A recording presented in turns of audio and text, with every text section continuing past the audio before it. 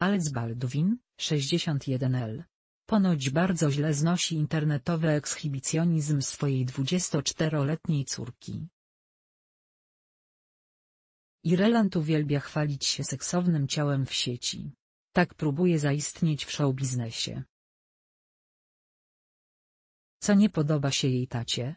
Ostatnio gwiazdor wręcz zamarł, gdy zobaczył gołą pupę swej latorośli na Instagramie.